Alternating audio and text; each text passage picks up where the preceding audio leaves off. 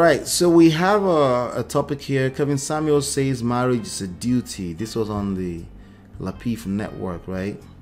So Lapeef Network is also a community that I rock with. What I like about them is that it's a discussion. Okay, it's just a discussion, just people talking. Uh, a lot of heated arguments, right? And um, but it's fun watching them. Uh, anytime I get a chance to catch uh, small clips, like 10 minutes clips, the long, the long um, five hours uh, live streams are too long. I don't have time for that but I appreciate them cutting it into pieces like this. So anyway, let's attack the topic. Kevin Samuels says marriage is duty and Lauren is open to arranged marriages. So I did another video on our channel on arranged marriage and why it is not going to solve your problems. Um, arranged marriages, polygamy, right? Um, domestic discipline, God forbid, right? Like they described the other time. Those things are not going to solve your problems okay? Um, if your relationship skills are trash they're just trash okay? Uh, what really makes any one of these things work if they ever work are the underlying relationships? That's it okay but some people need to talk for five hours to figure this out or some people need to listen to a live stream of five hours to figure this out i can respect that that's why they're getting 15000 views on a video. Okay.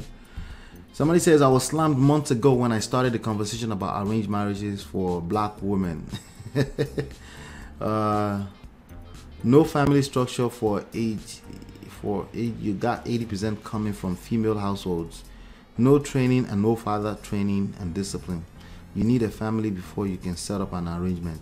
There you go. That's a good point right there. If you don't have family, how are you going to have arranged marriage so people were talking about arranged marriages and uh, and they actually started to confuse it with uh, matchmaking it's not a matchmaking there are bigger reasons behind arranged marriages and it has failed many people in india where they actually practice it. As a matter of fact i just had a coaching session this very afternoon where it actually failed a person from way back when. So this is actually a person telling me about her parent that her arranged marriage failed where she ended up in a toxic situation with an older man that she was arranged with so again when you want to talk about some of these things don't forget to talk about the downsides of it. If you're going to talk about nuclear family versus extended family or let me say nuclear versus versus a polygamous family right? Make sure you talk about the strength and weakness of each one before you make a decision. Don't just go with don't just come from the standpoint of the grass is greener on the other side. You will always fail. That's why a lot of people are failing relationships too, because they're always coming from a standpoint of the grass is greener on the other side. The grass seems greener on the other side because somebody is watering that grass. That's it. That's why, okay? That's, the grass seems greener on the other side because it's actually green probably because somebody is watering that grass. So if you don't learn how to water your own grass, you could change systems, you could change context all you want, you can change the container where you belong, your culture, your religion, you can change all of that.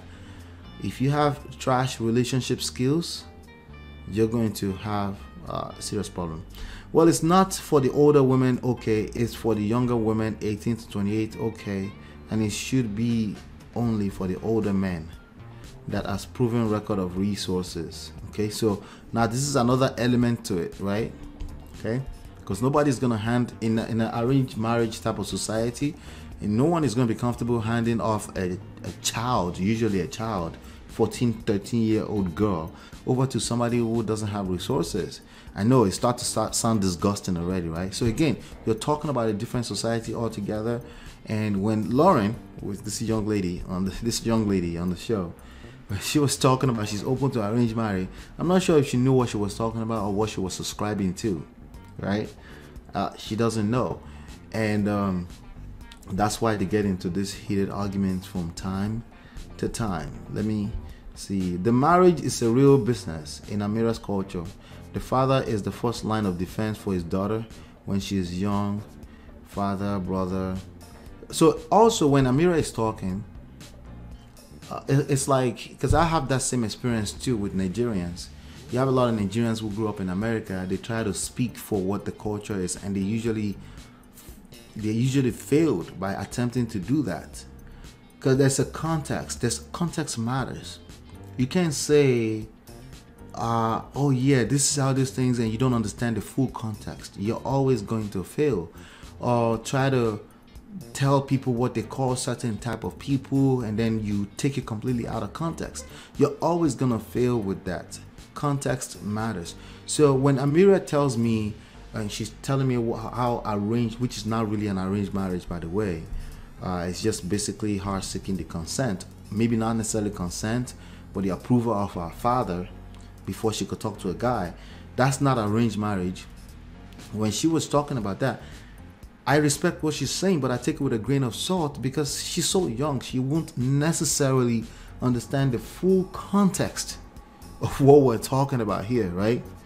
So, I agree with arranged marriage when I became Muslim and noticed the massive difference between modern culture and Islamic tradition of arranged marriage, not forced, arranged. See, again, arranged marriage, what what may have made made arranged marriage work for the people that are in it is their agreement, their fact that they're in unity right? And the fact that somebody subscribed to the thing, you can't just force people into it that don't want to do it. That's not how it works. Then you'll be missing the point. It won't be an arranged marriage at that point, right? It's strategic and has better outcomes on the bigger scale versus sleeping around and hoping. So again, this is judgmental.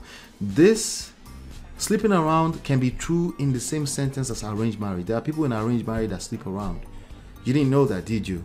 Yeah. See, again, when you talk out of your ass, right? You missed the point, right? You don't understand the full context. Don't speak on it. Don't speak on it. Learn your own culture. What is going on with your own culture? Try to master what may be missing in the underlying relationship, not the structure per se. It's like trying to leave communism and go into democracy without understanding what gave birth to democracy in the first place. You're gonna fail you need to understand the deeply rooted differences that made this country went the direction of com- uh, what do you call it? Is it communism? Well, the, whatever South North Korea practices, right? There's something deeply rooted in their tradition that made them go that direction. Sure, you could call it dictatorship or democracy. There's something happened here hundreds of years ago, toxic blood or not, that made us go in the direction of democracy. You may look on the surface, it looks like one is working better than the other, but in order for you to implement it properly into your system, you need to understand as much as possible about the context.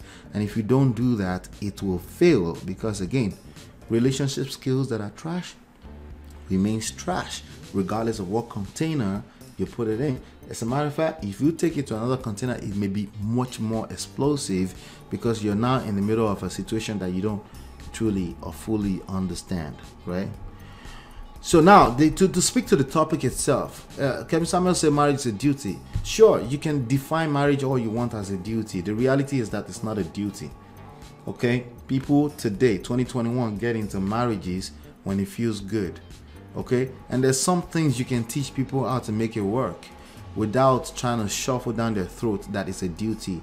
What i know is that the more you call it a duty the more people want to run away from the idea because it feels like no freedom right?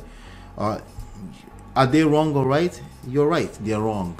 However telling them it's a duty does not help right? It doesn't it's not helping matters okay? You need to um, Uh, we need we need to settle that, let that settle in before we start to shuffle down people's throat that marriage is a duty. There's a reason why the Bible paints the narrative that marriage is a duty. It's a form of structure that people have to subscribe to first. That automatically creates the freedom and the unity that, that, that any marriage needs to survive. Calling marriage a duty does not automatically make marriages survive. If anything, it makes people feel more like they're in a bondage, right? But if you expand on marriage is a duty, why is it why should we make it a duty? Why should an individual make it a duty? Should be the topic. What are the reward system? What are the rewards behind treating marriage as a duty? That is more of the conversation we need to have as opposed to slapping people and, and, giving them a domestic uh, what do you call it uh, discipline uh, lashing them lashes of cane hey it's a duty That's not gonna work in 2021 because people are enlightened and you can't do nothing about that. You're just gonna complain and complain and cry and wolf about it. It's not gonna change anything. So we need to be we need to use some some wisdom when we're talking about these things. I personally treating marriage like a duty. Sure. Why? Let's talk about the why. Why? What's the reward in that for me? Short term and long term. If we can't talk about that, it's a useless statement essentially. Bye.